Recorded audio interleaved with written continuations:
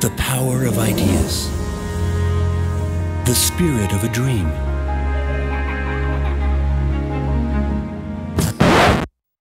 You've seen enough aspirational mood films to last a lifetime. So no more platitudes, no feel good music. And while we're at it, let's kick Aspie out and get rational. Simply said, we are the who, the how, and the wow. Know who our clients are, their desires, goals, and sometimes even their favorite song. We are the how, because we know how to best reach people by opening up a big box of specialists and letting them loose.